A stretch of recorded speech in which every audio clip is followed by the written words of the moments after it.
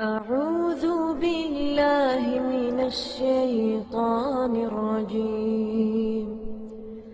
بسم الله الرحمن الرحيم. ومن أحسن قولا ممن دعا إلى الله. ممن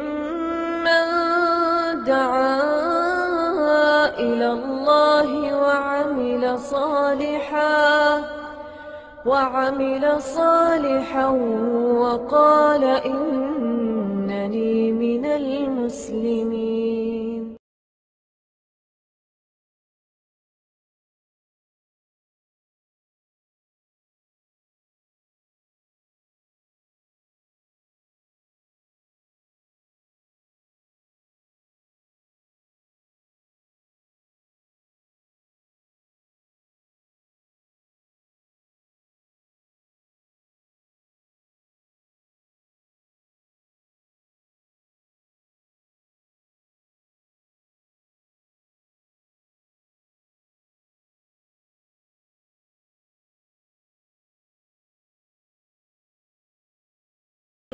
نحمده ونستعينه ونستغفره. ونعوذ بالله من شرور أنفسنا ومن سيئات أعمالنا. من يهده الله فلا مضل له ومن يضلل فلا هادي له. وأشهد أن لا إله إلا الله وحده لا شريك له. وأشهد أن محمدا عبده ورسوله. أما بعد، فإن خير الحديث كتاب الله، وخير الهدي هدي محمد صلى الله عليه وسلم، وشر الأمور محدثاتها، وكل محدثة بدعة، وكل بدعة ضلالة، وكل ضلالة في النار. رب اشرح لي صدري ويسر لي أمري، واحلل عقدة من لساني يفقه قولي. رب أعوذ بك من همزات الشياطين، وأعوذ بك رب أن يحضرون أعوذ بالله السميع العليم من الشيطان الرجيم. بسم الله الرحمن الرحيم. سبحان الذي أسرى بعبده ليلا من المسجد الحرام إلى المسجد الأقصى. الذي باركنا حوله لنريه من آياتنا. إنه هو السميع البصير. اللہ رب العزت کا مسلمانوں پر، امت اسلامیہ پر بہت بڑا احسان ہے کہ اللہ نے ہمیں اس نبی کا امتی بنایا ہے، جس نبی کے مقابلے کا پہلے کوئی نبی نہیں گزرا۔ اور آئندہ تو ظاہر ہے کہ کوئی نبی آنے والا نہیں۔ آنا خاتم النبیین ولا نبی آباد۔ نبی اکرم صلی اللہ علیہ وسلم یہ بات فرما کے جا چکے ہیں کہ میں آخری نبی ہوں، میرے بعد کوئی نبی آنے والا نہیں۔ پہلے انبیاء آدم علیہ السلام سے لے کر عیسیٰ علیہ السلام تک۔ بڑے بڑے عظیم المرتبت، بڑی بڑی شان و شوقت والے انبیاء گزرے ہیں۔ لیکن ہمارے نبی صلی اللہ علیہ وسلم کے سب مقتدی تھے۔ امام کون تھے؟ محمد الرسول اللہ صلی اللہ علیہ وسلم۔ گزشتہ چند ہفتوں سے آپ یہ بات بار بار سن رہے ہوں گے کہ نبی اکرم صلی اللہ علیہ وسلم کو ایک بہت ہی بڑا معجزہ عطا فرمایا گیا۔ اور وہ معجزہ ہے معجزہ اسراء و معراج۔ نبی صلی اللہ علیہ وسلم کو اللہ رب العزت نے آسمانوں پر بلایا۔ شرف ہم کلامی سے نوازنے کے لیے کسی کو پہاڑ پر بلایا اور کسی کو سات آسمانوں کے اوپر بلایا۔ اللہ رب العزت کی تقسیم ہے۔ ہمیں یہ حکم ہے کہ ہم انبیاء کے مابین تفریق نہ کریں۔ اور ہمارا یہ ایمان ہے کہ آدم علیہ السلام سے لے کر حضرت عیسیٰ علیہ السلام جتنے بھی انبیاء و رسول گزرے ہیں، وہ سارے برحق تھے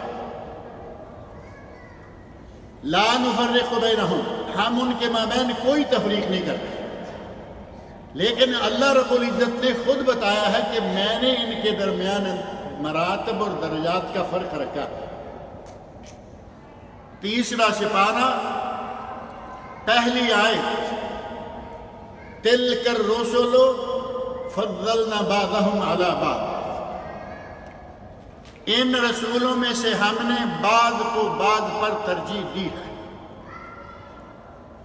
اور وہ ترجیح بالکل واضح طور پر ہمارے سامنے ہے، کوئی پہاڑ پر، کوئی سات آسمانوں سے اوپر. اس معجزے کا وقت، اس معجزے کی رات اس معجزے کا مہینہ کسی چیز پر بھی علماء کا اتفاق نہیں۔ ہے ہمارے برے صغیر پاک و ہند میں یہ زور شور سے للت المعراج یا شب معراج منائی جاتی ہے۔ بڑا جشن قسم کا موسم بنایا ہوا ہوتا ہے۔ جبکہ ستائیس رجب تو دور کی بات ہے۔ یہ مہینہ بھی طے نہیں ہے کہ یہ ماہ رجب میں معراج کروائی گئی۔ کسی نے کہا کہ یہ ربیع الاول تھا۔ کسی نے کہا کہ یہ ذوالقادہ تھا، کسی نے کہا کہ یہ رجب تھا، کسی نے کہا یہ رمضان کا مہینہ تھا۔ اور جب مہینے میں اتفاق نہیں ہے تو پھر تاریخ میں اتفاق کیسے ہو سکتا لیکن ہمارے لوگوں کو کھانے پینے کے لیے کوئی بہانہ چاہیے۔ کچھ نہ کچھ کر کے انہوں نے ستائیس پکی کر لی اور کہا کہ ستائیس کو ہی معراج ہوئی ہے اور اسی رات کو منانا ہے۔ نبی اکرم صلی اللہ علیہ وسلم کو معراج کروائی گئی۔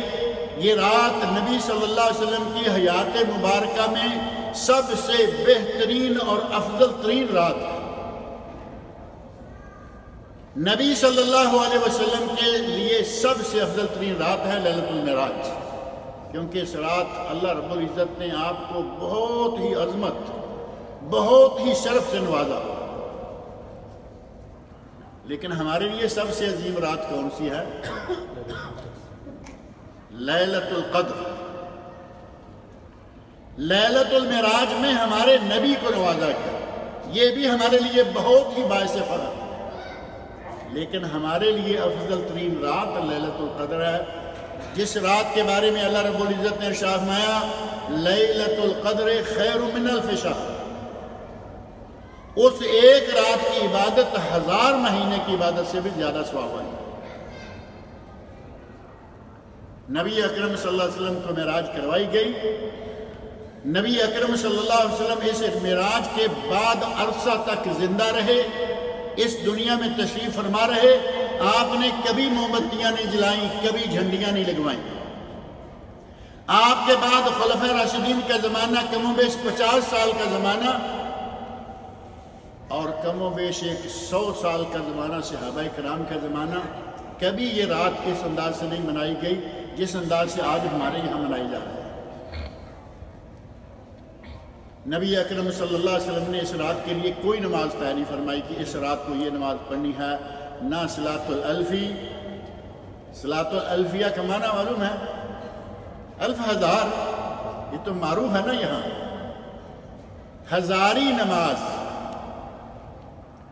ہزاری روزہ، لکھی روزہ۔ روزوں کے نام، لکھی روزہ، ہزاری روزہ، مریم روزہ۔ اسی طرح اس نماز کے لیے بھی نام رکھا سلاۃ الرغائب۔ جس کا کوئی سر پیر نہیں سجت اسلامیہ میں۔ سلاۃ الرغائب سلاۃ الفیہ نبی اکرم صلی اللہ علیہ وسلم کی معراج کی رات مہینہ طے نہیں تو یہ کہاں سے ایسی عبادتیں آئیں گی؟ نبی اکرم صلی اللہ علیہ وسلم کو اللہ رب العزت نے نوازا، آپ اپنے گھر میں تھے۔ معراج کا واقعہ صحیح بخاری، مسلم اور حدیث کی تقریباً تمام کتابوں میں صحیح صنعت سے ثابت ہے۔ واقعہ کا ثابت ہونا ایک بات ہے اور اس کا کسی تاریخ اور مہینے میں طے متفق ہونا وہ الگ بات ہے۔ وہ طے نہیں ہے۔ نبی اکرم صلی اللہ علیہ وسلم کے پاس جبرائیل امین آئے اور یہ واقعہ کب پیش آئے؟ نبی اکرم صلی اللہ علیہ وسلم بہت پریشان ہیں۔ عام الحزن، آپ پر غم کا سال گزر گزر رہا ہے۔ آپ کے لیے جو شخص قلعے کا کام کر رہا تھا، ابو طالب، وہ فوت ہو گئے۔ مسلمان نہیں ہوئے۔ لیکن نبی اکرم صلی اللہ علیہ وسلم کے لیے ایک مضبوط قلعہ۔ اور اسی سال میں نبی اکرم صلی اللہ علیہ وسلم کی زوجہ محترمہ ام المومنین حضرت خدیجہ القبرہ رضی اللہ عنہ بھی وفات پا گئی۔ سب سے پہلی مسلمان خاتون۔ نبی اکرم صلی اللہ علیہ وسلم کی اولاد کی ماں خاتون۔ جن دنوں میں لوگوں نے جٹلایا ایمان لانے والی خاتون، لوگوں نے نبی اکرم صلی اللہ علیہ وسلم کو محروم کیا، اپنا سارا مال نشاور کرنے والی خاتون، یہ بھی فوت ہو گئی۔ غم کا سال تھا، مکہ والوں کی اذیتیں زوروں پر تھی نبی اکرم صلی اللہ علیہ وسلم کو اذیتیں پہنچا رہے ہیں۔ نبی صلی اللہ علیہ وسلم کے صحابہ کرام کو اذیتیں پہنچا رہے ہیں۔ مکہ سے نکل کر طائف کی وادی کا سفر کیا کہ شاید وہاں ہی کوئی ایمان لے آئے۔ واقعہ طائف آپ کے علم میں ہے۔ ان بدبختوں نے نبی صلی اللہ علیہ وسلم کے پیچھے بچوں کو لگا دیا۔ مار مار کے ان لوگوں نے نبی صلی اللہ علیہ وسلم کو طائف شہر سے باہر تک نکال دیا۔ کتنا غم والا سال ہے۔ اللہ رب العزت نے ڈھارس مندانے کے لیے، تسلی دینے کے لیے وہ سفر کرایا کہ کسی نبی کی زندگی میں ایسا سفر نہیں آیا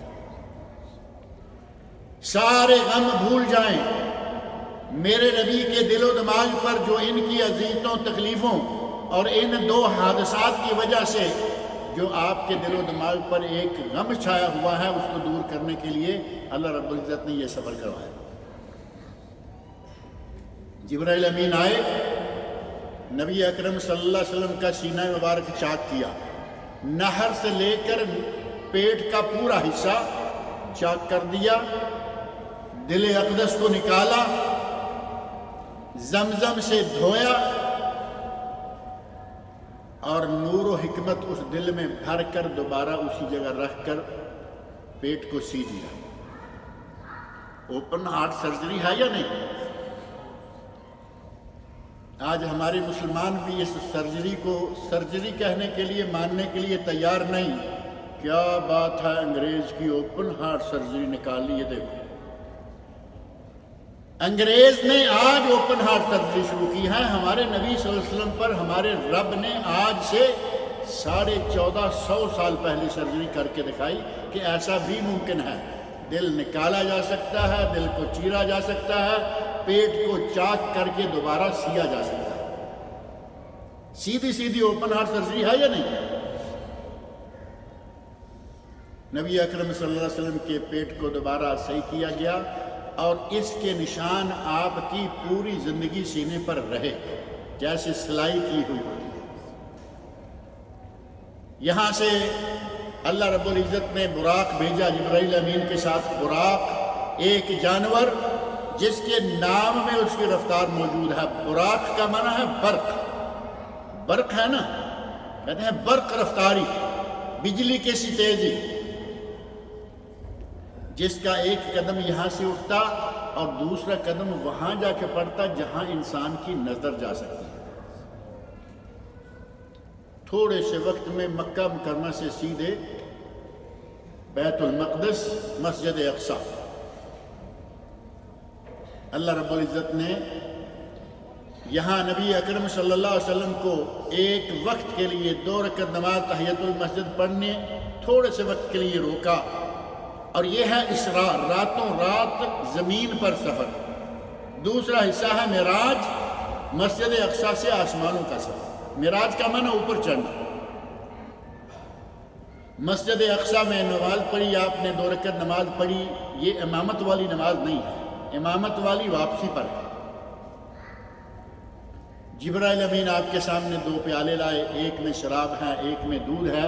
نبی اکرم صلی اللہ علیہ وسلم نے دودھ کا پیالہ لیا اور نوش فرمایا، حضرت جبرائیل کہتے ہیں اختر تل فطرہ اختر تل فطرہ اے اللہ کے نبی، آپ نے فطرت کو اختیار کر لیا ہے۔ اگر دوسرا شراب پی لیتے تو آپ کی امت گمراہ ہو جاتی۔ لیکن امت کا کتنا بڑا طبقہ آج بھی گمراہ ہو چکا ہے، اگرچہ ہمارے نبی نے اس کو دتکار دیا، دودھ پیا۔ اور جبرائیل کہہ رہے ہیں کہ اگر آپ یہ اس وقت شراب پی لیتے تو آپ کی امت شراب کے نتیجہ میں، پینے کے نتیجہ میں گمراہ ہو جاتی۔ لیکن گمراہوں کی اب بھی کمی نہیں۔ یہاں سے نبی اکرم صلی اللہ علیہ وسلم کو جبرائیل امین کے ساتھ آسمانوں کی سیر کرائی گئی۔ مسلسل ایک کے بعد ایک آسمان۔ ہر ہر آسمان پر پوچھا جاتا ہے کہ کیا یہ نبی ہیں؟ کیا ان کی طرف رسالت بھیجی گئی؟ ہاں بھیجی گئی۔ پہلے آسمان پر پہنچے آدم علیہ السلام۔ بیٹھے ہوئے ہیں۔ دائیں طرف دنیا ہی دنیا، بائیں طرف دنیا ہی دنیا۔ دائیں طرف دیکھا، مسکرائے، بائیں طرف دیکھا، رو دیے۔ پوچھا گیا کہ یہ کیا بات ہے؟ کہا کہ یہ سارے جہنمی ہیں۔ یہ لوگ جہنمی ہیں۔ اصحاب الیمین اور اصحاب الشمال سیدھی سیدھی بات قرآن کریم نے یہ الفاظ استعمال کیے ہیں۔ بائیں دائیں ہاتھ والے، بائیں ہاتھ والے۔ دائیں ہاتھ والے اہل جنت اور بائیں ہاتھ والے اہل جہنم۔ اگلے آسمان پر گئے تو وہاں ابن الخالہ دو خالہ زاد بھائی، حضرت یحییٰ اور دوسرے عیسیٰ علیہ السلام۔ یہ خالہ زاد بھائی ہیں۔ یحییٰ بن زکریہ اور عیسیٰ ابن مریم خالہ زاد بھائی۔ یہ دونوں ملے۔ آدم علیہ السلام نے کہا، مرحباً بالابن الصالح والنبی الصالح یہ الفاظ یا آدم علیہ السلام نے کہے یا ساتویں آسمان پر ابراہیم علیہ السلام نے کہے۔ بالابن صالح، ہمارا پیارا اور نیک بیٹا۔ باقی سب نبی کیا کہہ رہے ہیں؟ مرحباً بالاخ صالح والنبی صالح۔ وہ سارے بھائی کیا رہے ہیں؟ آدم علیہ السلام نے، ابراہیم علیہ السلام نے بیٹا کہا۔ تیسرے آسمان پر گئے تو وہاں یوسف علیہ السلام کو دیکھا۔ آپ نے فرمایا اوتیا شطر الحسن۔ اللہ نے کتنا حسن دیا ہوا تھا یوسف علیہ السلام کو، نبی اکرم صلی اللہ علیہ وسلم نے ان کو دیکھا۔ آگے بڑھتے گئے، پانچویں آسمان پر گئے حضرت ہارون علیہ السلام۔ چوتھے پر ادریس، پانچویں پر ہارون علیہ السلام، چھٹے پر حضرت موسیٰ علیہ السلام۔ اور ساتویں پر دیکھا کہ حضرت ابراہیم خلیل علیہ السلام بیت العزت کے ساتھ ٹیک لگا کے مزے سے بیٹھے ہوئے۔ اب یہاں سے آگے سات آسمان مکمل ہو گئے۔ ہر آسمان پر پوچھا جا رہا ہے، کون ہے؟ کہا گیا، نبی مرسل۔ کہا گیا، کھول دو۔ دروازے کھلتے گئے، سات آسمانوں سے پار گئے صدرت المنتہا تک پہنچے اور صدرت المنتہا سے بھی پھر آگے گئے۔ حتیٰ کہ نبی اکرم صلی اللہ علیہ وسلم نے تقدیر کا قلم لکھنے والے فرشتوں کے قلموں کی آواز سنی۔ باریکی دیکھیں اس واقعہ کی۔ سریر القلم۔ اللہ رب العزت جو آرڈر ایشو کرتے ہیں، فرشتے جو لکھتے ہیں، ان کے لکھنے سے قلم۔ آج کل تو قلم ایسے نکل آئے ہیں کہ آواز نہیں نکلتی۔ وہ کلک کا قلم ہو، تو اس کو لکھتے ہوئے چر چر چر چر کی آواز آیا کرتی۔ لکھا ہوگا کہ آپ وہ شریر نبی اکرم صلی اللہ علیہ وسلم نے وہ آواز سنی۔ یہاں اتنے قریب تک نبی اکرم صلی اللہ علیہ وسلم پہنچ اور یہاں پہنچنے کے بعد آپ کو اس صدرت المنتہا بیری جو ہے، اس کے بارے میں بڑی تفصیلات ملتی ہیں۔ ساتوں آسمانوں پہ کیا کیا ہوا بڑی تفصیلات ملتی ہیں۔ پھر آپ کو جنت دکھائی گئی، جہنم کا نظارہ دکھایا گیا۔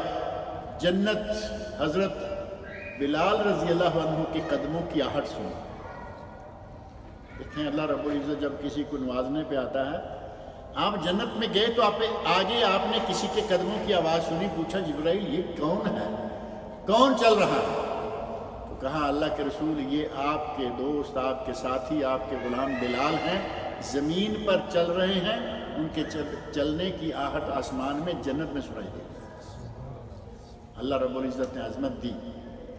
جہنم میں بہت سارے لوگوں کو دیکھا اور آپ نے دیکھا کہ زیادہ تر جہنم میں عورتیں ہیں۔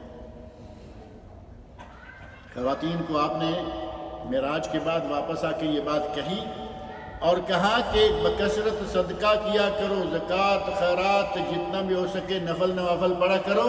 میں نے تم میں سے زیادہ لوگوں کو، یا جہنمیوں میں سے زیادہ عورتیں دیکھی۔ خواتین نے پوچھا یا رسول اللہ کیا وجہ ہے؟ تو آپ نے وجہ بھی بتا دی اور وجہ آپ بھی سنیں گے، بات آسانی سے سمجھ میں آ جائے گی۔ نبی اکرم صلی اللہ علیہ وسلم میں شاہماتے ہیں کہ تم تکثرن اللعن، تم لان تان بہت کرتی ہو۔ بچے کو بھی لانت بڑے کو بھی لانت رشتہ داروں کو بھی لانت اور غیروں کو تو لانت ہی لانت تم بکثرت لانت ملامت کرتی ہو۔ وہ تکفرن العشیر اور اپنے شوہر کی نافرمانی یا دوسرے معنوں میں ناشکری۔ کفران نعمت ناشکری بھی ہے۔ اور اس میں بھی کوئی شک ہے، خاتون گھر میں ہے، مزے سے ہے، کبھی ذرا تکلیف آ جائے تو ایک جملہ بڑا مشہور ہے کہ میں تو جب سے تیرے پاس آئی ہوں، میں نے تو کچھ دیکھا ہی۔ یہ ہے، تکفرن العشیر، تم اپنے شوہروں کی بہت ہی زیادہ ناشکری کرتی یہ چیزیں دیکھی اللہ رب العزت نے معراج کے موقع پر ہمارے نبی صلی اللہ علیہ وسلم کو ایک تحفہ دیا، بلکہ دو تحفے مشہور ہیں۔ ایک تحفہ سورت البقرہ کی آخری دو آئے تھے خواتین البقرہ۔ آمن الرسول بما انزل الیہ من ربہ والمومنون الى آخر۔ یہ بھی اس موقع پر دی گئیں اور بعد میں یہ نازل بھی کی گئی یہ باقاعدہ نازل بھی ہوئی اور وہاں بھی دی گئی اور دوسرا بہت بڑا تحفہ نبی اکرم صلی اللہ علیہ وسلم کو نماز کا دیا گیا۔ پچاس نمازیں فرض کی اللہ رب العزت نے۔ یہ تحفہ لے کے نبی صلی اللہ علیہ وسلم خوشی خوشی واپس آ رہے ہیں۔ راستے میں ابراہیم علیہ السلام کے پاس سے گزر آئے۔ موسیٰ علیہ السلام کے پاس پہنچے چھٹے آسمان پر۔ تو وہ پوچھتے ہیں کہ کیا لے کے آئے ہو؟ آپ فرمایا کہ یہ کہا کہ میں بنی اسرائیل سے ابھی ابھی ان کو دیکھتے ہوئے آ رہا ہوں۔ بنی اسرائیل کی آزمائش کی گئی، ان کو آزمایا گیا۔ وہ یہ کام نہیں کر پائے، تیری امت یہ پچاس نمازیں نہیں پڑھ پائے گی۔ اپنے تجربے کے ساتھ کہہ دیا کہ میں وہیں سے آیا ہوں۔ یہ پچاس نمازیں تیری امت نہیں پڑھ پائے گی جاؤ اپنے رب کے پاس اور جا کے کہو کہ یا اللہ کم کر دے۔ نبی اکرم صلی اللہ علیہ وسلم واقعی گئے، اللہ رب العزت نے کم کر دی، گئے، کم کر دی، یہ سلسلہ کئی بار مسلسل چلتا رہا۔ اور بالآخر اللہ رب العزت نے فرمایا کہ اے میرے نبی، یا محمد، انہن خمس۔ یہ پانچ نمازیں ہیں۔ آخر پانچ آگے کہا یہ پانچ نمازیں ہیں جو پانچ نمازیں پڑھے گا، ہم اسے پچاس کا ہی سواب دیں گے۔ ولا يبدل القول لدیہ ہمارے یہاں باتیں بدلتی نہیں۔ پچاس ہیں تو پچاس ہیں۔ دو چار چکر نبی اکرم صلی اللہ علیہ وسلم نے لگائے، پچاس سے پانچ رہ گئی اور اگر ایک چکر ہو لگ جاتا، کیا خیال ہے، مزہ ہو جاتا یا نہیں؟ پوری پانچ نہ بھی جاتی تو شاید تین چار تو جاتی۔ اللہ رب العزت ہمیں پانچوں نمازیں بعض جماعت پڑھنے کی توفیق عطا فرمائے۔ نبی اکرم صلی اللہ علیہ وسلم کہتے ہیں، حضرت موسیٰ السلام کے اس مشورے پر کہتے ہیں راجا تو ربی فاستحییت۔ میں نے اپنے رب کے پاس بار بار رجوع کیا ہے، اب مجھے شرم آتی ہے، میں نہیں جاؤں گا۔ پانچ پہ آ کے کہا، اب میں نہیں جاؤں گا، مجھے شرم آتی ہے۔ واپس آئے۔ مسجد اقصا میں پہنچے۔ اور مسجد اقصا میں اب آ کے آپ نے دو رکعت نماز پڑھی۔ اور ان دو رکعت کی آپ نے باقاعدہ امامت کرائی۔ اور مقتدی کون ہیں؟ آدم علیہ السلام سے لے کر عیسیٰ علیہ السلام تک جتنے نبی رسول گزرے ہیں، وہ سارے آپ کے مقتدی ہیں۔ اسی واقعہ کے نتیجہ میں نبی اکرم صلی اللہ علیہ وسلم کو امام الانبیاء والرسل مشہور ہے نا یہ کلمہ۔ تمام نبیوں رسولوں کے امام۔ اسی واقعہ کے نتیجہ میں کہا گیا۔ نبی اکرم صلی اللہ علیہ وسلم کو اللہ رب العزت نے بہت ہی نوازا۔ بہت ہی شرف عطا فرمایا اور ان دو رکعت نمازوں کے بعد آپ واپس مکہ مکرمہ آ گئے۔ صبح ہوئی۔ نبی اکرم صلی اللہ علیہ وسلم نے کہا کہ مجھے رات کو اللہ رب العزت نے یہاں سے مسجد اقصا وہاں سے سات آسمان شدرت المنتہا، جنت، جہنم، یہ ساری چیزیں دکھائی ہیں۔ مشرقین کہتے ہیں یہ کیسے ہو سکتا ہے؟ ہمارا ایک مہینہ شام جانے پر لگتا ہے اور ایک مہینہ واپس آنے پر تم کہتے ہو راتوں رات یہ نہیں، بلکہ آسمانوں سے بھی ہو کے آگے ہو۔ ہم نہیں مان سکتے۔ پہلا کام ابو جاہل نے یہ کیا بھاگا ہوا گیا حضرت ابو بکر صدیق رضی اللہ عنہ کے پاس۔ کہتا ہے، تم بڑے پیروکار بنے پھرتے ہو، بڑی مانتے ہو، دیکھو تمہارا ساتھی کیا کہہ رہا ہے۔ حضرت ابو بکر صدیق رضی اللہ عنہ فرماتے ہیں کہ کیا واقعہ یہ نبی اکرم صلی اللہ علیہ وسلم نے کہا ہے؟ ظاہر ہے کہ وہ سن کے آ رہا تھا۔ کہا، میں ابھی سن کے آیا واقعہ ہی اس نے یہ کہا ہے تو حضرت ابو بکر صدیق رضی اللہ فرماتے ہیں، ان ان کانا قالہ فقد صدقہ اگر میرے نبی نے یہ کہا ہے تو بالکل سچ کہا ہے، میرا اس پر ایمان ہے۔ آپ صداقت تصدیق کا آپ مقام دیکھیں، صدیق کا لفظ اسی موقع پر آپ کو دیا گیا۔ سارے لوگوں نے جٹلا دیا، عقل میں نہ آنے والی بات لیکن کہا اگر میرے نبی نے کہا ہے تو سچ کہا ہے، میں مانتا ہوں کہ آپ سات آسمانوں سے ہو کے آئے۔ مشرقین مکہ کہنے لگے کہ ہم نہیں مانتے۔ اگر تم واقعی گئے ہو تو بتاؤ ہمارا ایک قافلہ گیا ہوا ہے، وہ کہاں ہے؟ نبی اکرم صلی اللہ علیہ وسلم نے اس قافلے کے بارے میں بتا دیا کہ قافلہ فلافلہ جگہ ہے۔ قافلے کی کیفیت یہ ہے۔ کہ آپ تو دیکھ کے آ رہے ہیں؟ کہتے ہیں کہ ہمیں مسجد اقصا کے بارے میں بتاؤ۔ اب نبی اکرم صلی اللہ علیہ وسلم مسجد اقصا میں گئے تھے، وہاں آپ نے اپنی سواری باندھی اور پھر آپ مسجد میں داخل ہوئے، دو رکعت نماز پڑھی، جبرائیل علیہ السلام کے ساتھ معراج پر سے روانہ ہو گئے۔ آپ مسجد کی کیفیت کیا دیکھنے کے لیے گئے؟ اب یہی اطالعہ کریں کہ یہی بیٹھے ہوئے آپ سال چھ مہینے سے مسلسل آ رہے جامع ملک فہد میں سال چھ مہینے سے آپ جمعہ کے لیے آ رہے ہیں۔ میں بھی آ رہا ہوں۔ آج ہم نکل جائیں اور باہر کھڑے کر کے ہمیں کو پوچھے کہ مسجد جامع ملک فہد کے کتنے دروازے ہیں، کتنی کھڑکیاں ہیں، کتنا کیا ہے؟ کوئی آدمی بتا سکے؟ کیونکہ ہم دروازے گننے کے لیے تو نہیں آتے۔ نہ ہم گنتی کھڑکیوں کے کرنے کے لیے آتے ہیں، ہم نماز کے لیے آتے ہیں، جمعہ کے لیے آتے ہیں۔ نبی اکرم صلی اللہ علیہ وسلم پریشان ہوئے۔ اور دیکھتے ہی اللہ رب العزت نے نبی اکرم صلی اللہ علیہ وسلم کے سامنے مسجد اقصا کا نقشہ کر دیا۔ مسجد اقصا کا مکمل نقشہ نبی اکرم صلی اللہ علیہ وسلم کی نگاہ مبارک کے سامنے اللہ رب العزت نے کر دیا۔ آپ فرماتے ہیں، جل اللہ لی المسجد الاقصا اللہ نے میرے لیے مسجد اقصا کا نقشہ کھول کے سامنے رکھ دیا۔ وہ سوال پوچھتے میں نقشے سے دیکھتا، جواب دیتا رہتا۔ قافلے کی بات آئی، مسجد اقصا کی بارے میں تفصیلات آئیں۔ بالآخر مشرقین کہنے لگے، تمہاری یہ ساری باتیں صحیح ہیں، لیکن ہم وہ مانتے ہیں۔ یہ تو چلتا ہی آ رہا تھا نا، کہ تم یہ کرو تو ہم مان جائیں گے، وہ کرو تو تم مان جائیں گے۔ ہمیشہ نبی اکرم صلی اللہ علیہ وسلم معجزات کی بات آتی، معجزہ رونما ہو جاتا، بعد میں وہ پھر انکار کر جاتے۔ یہاں بھی وہی ہوا۔ کہنے لگے کہ تم نے مسجد اقصا کی جو تفصیل بتائی ہے وہ بھی صحیح ہے۔ قافلے کی جو تفصیل بتائی ہے وہ بھی صحیح ہے۔ لیکن ہم یہ نہیں مانتے کہ تمہیں آسمانوں کی سیر کھلائے اب تم مانے یا نہ مانے، وہ اس کی مرضی۔ یہاں ایک بات اور ذہن میں رکھیں۔ پہلے میں نے اوپن ہارٹ سرجری کی بات کی ہے۔ تو یہاں کچھ ٹیلی ویژن کا اندازہ نہیں ہوتا آپ کو۔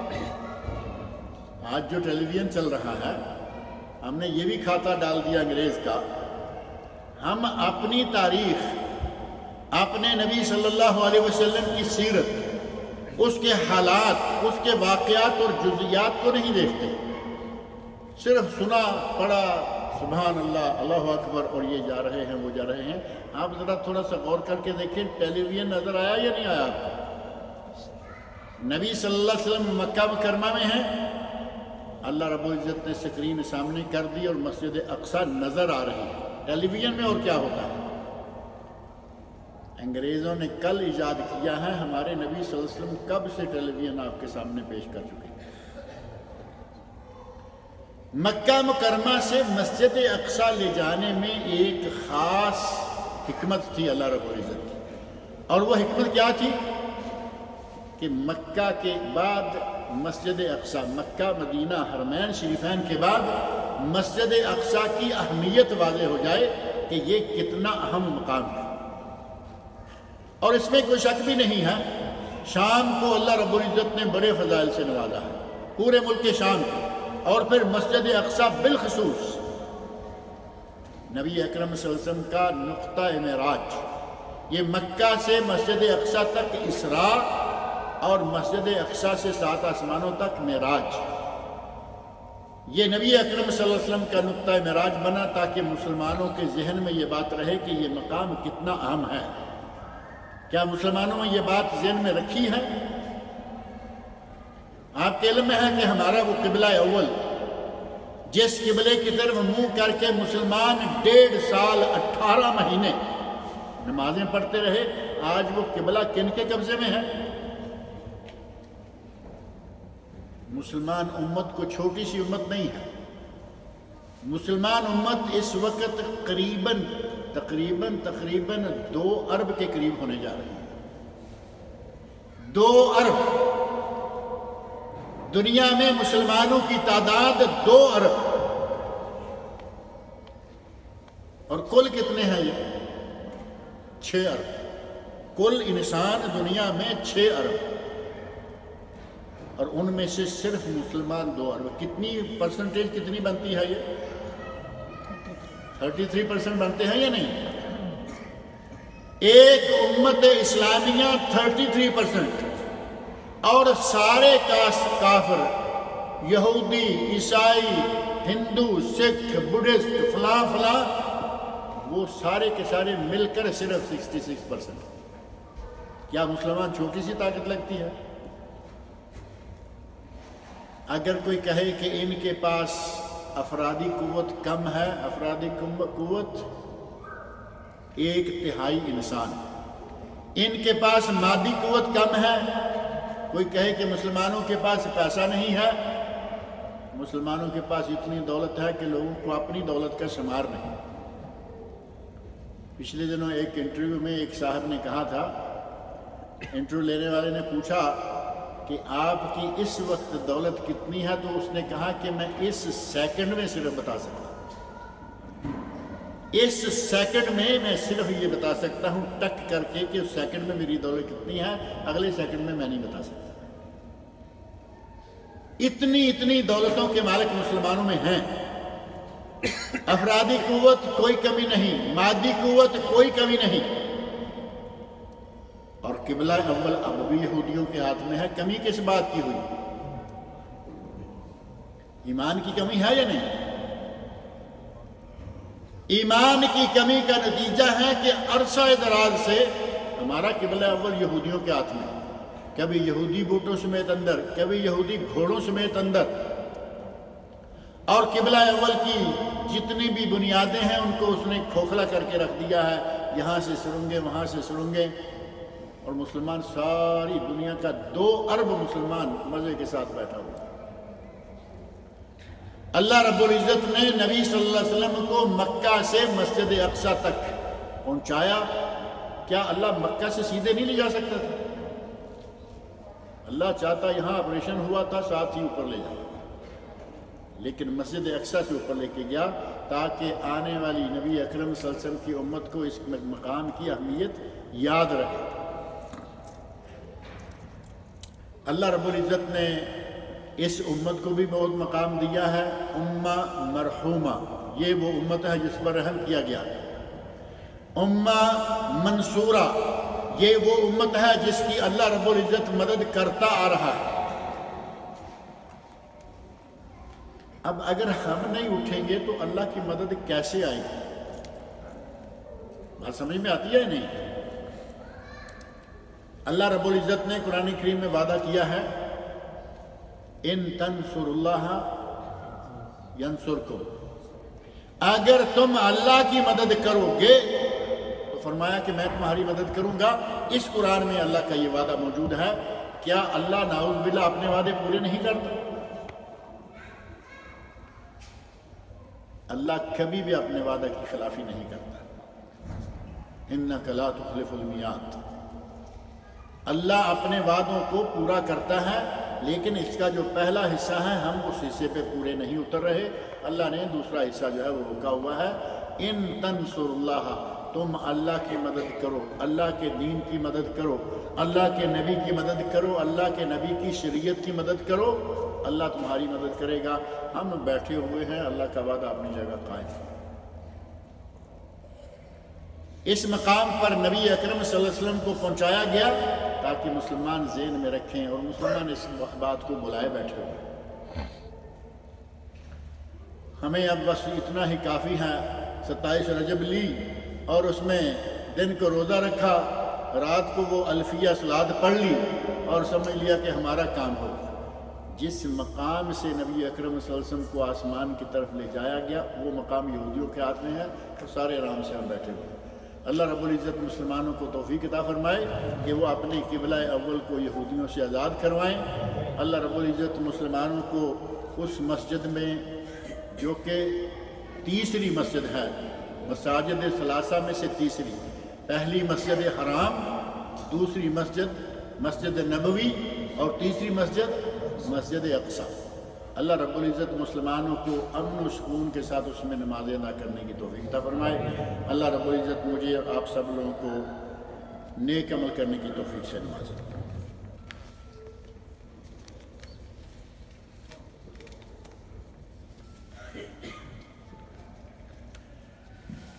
کسی نے لکھا ہے کہ دو ہفتے پہلے میرے دادا جناب قاسم خان صاحب کا انتقال ہو گیا ہے۔ دعا کریں کہ اللہ رب العزت ان کی مقصد فرمائے بشری کوتاہیوں کو اللہ معاف کرے، اللہ تعالیٰ ان کو جنت الفردوس میں اعلیٰ مقام عطا فرمائے۔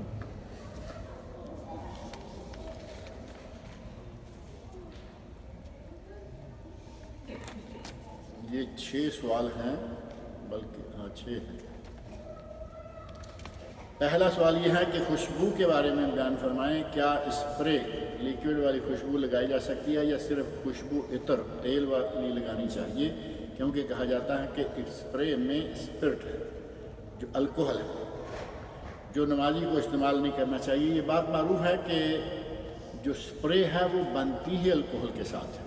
جب تک الکوہل استعمال نہ کیا جائے اسپرے نہیں بنتی اور الکوہل کے بارے میں اہل علم کا اختلاف ہے کہ الکوہل نجس ہے یا پاک ہے۔ علماء میں سے بہت سارے علماء، بلکہ علماء کی اکثریت یہ کہتی ہے کہ الکوہل نجس ہے۔ اب اگر الکوہل نجس ہے تو یہ سپرے کیا ہوگا؟ نجس شمار ہوگا نا۔ لیکن کچھ عرصہ پہلے سننے میں آیا کہ شارجہ میں کسی فیکٹری والے نے ایک سپرے تیار کی ہے جس میں الکوہل استعمال نہیں ہوتی کوئی فارمولہ ہوگا ایسا؟ اگر وہ مل جائے، جس میں لکھا ہوا ہو کہ اس میں الکوہل نہیں ہے، نان الکوہلک چیزیں ہیں۔ مل جاتی ہیں، ٹھیک ہے، استعمال کریں۔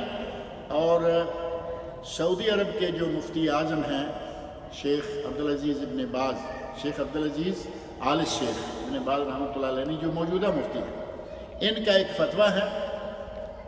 کہ ہم نے ایکسپرٹس کو جمع کیا اور اسپرے کے بارے میں معلومات لیں تو پتہ چلا کہ ہم اس اسپرے کو اتنے پروسیس سے گزارتے ہیں یا اسپرٹ کو الکوہل کو اتنے پروسیس سے گزارتے ہیں کہ اس کے نجس رہنے والی بات ختم ہو جاتی ہے۔ اب اگر کسی کو اطمینان ہو، یہ فتویٰ ہے شیخ کا، مفتی اعظم کا تو وہ استعمال کر لے، لیکن بعض چیزیں ایسی ہوتی ہیں کہ چاہے بڑی شخصیت کیوں نہ ہو، اطمینان نہیں ہوتا۔ اب وہ اطمینان نہ ہونے کی وجہ میں کبھی کبھی ذکر کرتا ہوں، آج بھی کر دیتا ہوں، کہ آپ پیشاب کا پیالہ بھر لیں۔ نجس ہے نا؟ اب اس کو پروسیس میں گزارنا شروع کیجیے۔ پانچ سو مشینوں میں سے ہزار مشین سے گزاریے، جس میں سے وہ رنگ بھی نکال دیں گے، وہ جراثیم بھی مار دیں گے وہ پتہ نہیں کیا کیا کچھ کر دیں گے، ہو سکتا ہے کہ آخر میں اس سے خوشبو بھی آنا شروع ہو جائے۔ کیا کسی کا جی چاہے گا کہ اس کو پیے؟ جسے معلوم ہے کہ وہاں سے ایک ہزار مشین پہلے کیا ڈالا گیا تھا۔ ایک ہزار مشین سے گزر کر یہ خوشبودار ہو سکتا ہے کہ مزیدار بھی ہو جائے۔ خوشبودار، مزیدار پیشاب کو پینا چاہے۔ یہ ہے ایک جیسے ذاتی رائے کہہ سکتے ہیں۔ لیکن مفتی اعظم کا فتویٰ موجود ہے کہ اس میں سے وہ الکوہل کی تاثیر ختم کر دی جاتی ہے، لہذا کو استعمال کرنا چاہے تو وہ اس کی مرضی ہے۔ بخور اسود عطر کی خوشبو کے بارے میں کہا جاتا ہے کہ اس کو لگانے یا اس کی دھونی دینے سے شیطان قریب نہیں آتا، کیونکہ شیطان کو بخور اسود کی خوشبو بہت ناپسند ہے۔ شیطان کو ساری خوشبوئیں ناپسند ہیں۔ یہ بخور اسود کی بات آپ نے پتہ نہیں کہاں سے لا لی۔ کسی دکان والے نے جس کے پاس یہی بخور ہوگا، اس نے یہ بوجھا تیار کر دیا ہے۔ ایسی کوئی بات نہیں۔ خوشبویات یا عطریات، جتنے جنات، بھوت اور ابلیس، شیطان، جو جو بھی نام لیں گے، وہ ساری ایک ہی پارٹی ہے۔ ان سب کو خوشبو ناپسند ہے۔ لہذا یہ دکانداری چھوڑیں کہ وہ کس رنگ کی ہو، تب ناپسند ہے۔ یہ ساری ہی خوشبوئیں ان کو ناپسند ہیں۔ کیا خواتین کو بخور اسود عطر لگانا چاہیے؟ یا اس کی دونی دینا اگر وہ اپنے گھر کے اندر ہی رہنے والی ہیں؟ باہر نہیں نکلنا چاہتی۔ شوہر ہے، باپ ہے، بیٹے، بیٹیاں ہیں اور اپنے گھر کے لوگ ہیں، وہاں لگانا چاہے تو کوئی حرج نہیں۔ لیکن اگر کوئی عورت خوشبو لگا کر وہ یہ کالے کی ہو، پیلے کی ہو، کسی بھی بخور کی ہو، اگر خوشبو لگا کر باہر نکلے گی تو نبی اکرم صلی اللہ علیہ وسلم نے کیا ارشاد فرمایا؟ فرمایا کہ وہ بدکار عورت ہے۔ من استعطرت اگر کوئی عورت عطر لگاتی ہے، پھر وہ باہر نکلتی ہیں اور اس کے عطر کی خوشبو مردوں، غیر محرم مردوں کے ناک تک پہنچتی ہے، تو وہ عورت بدکار ہے۔ نبی اکرم صلی اللہ علیہ وسلم جو نام دے رہے ہیں، اس کو ذہن میں رکھا جائے تو بات سمجھ میں آ جاتی ہے۔ اگر کوئی گھر سے نکل کے ساتھ والے دروازے سے مسجد میں داخل ہونا چاہتا ہے، اس کو بھی یہ خوشبو استعمال نہیں کرنی چاہیے۔ جب تک گھر میں ہے، گھر والے کے پاس ہے یا گھر والوں کے پاس ہے جائز، اور جب باہر نکلنا چاہے تو یہ ناجائز۔ اور آج کل خواتین باہر نکلنے کے لیے لگاتی ہیں، گھر جو ہے وہ کچن کا پسینہ ہی رہے تو رہے۔ مذہب اسلام میں خوشبو لگانے کے فوائد خاص طور پر بخور اسود. پتہ نہیں کہاں سے یہ اسود لے آئے ہیں بھائی صاحب؟ اب پکا کر دیا اسود کو انہوں نے. خوشبو لگانی چاہیے. نبی اکرم صلی اللہ علیہ وسلم کو فوائد کے علاوہ آدمی کی طبیعت حشاش بشاش ہوتی ہے. خوشبو سے آدمی میں نشاط پیدا ہوتا ہے. ان سب چیزوں کو چھوڑ دیں. میڈیکل ہیں یا طبعی ہیں. اصل بات ہے اس خوشبو کا ہمارے نبی صلی اللہ علیہ وسلم کے نزدیک مقام کیا ہے؟ نبی اکرم صلی اللہ علیہ وسلم فرماتے ہیں کہ مجھے تمہاری دنیا میں سے جو محبوب ترین چیزیں ہیں، ان میں سے ایک خوشبو ہے۔ دنیا کی محبوب ترین چیزوں میں سے ایک خوشبو اور دوسری بیوی۔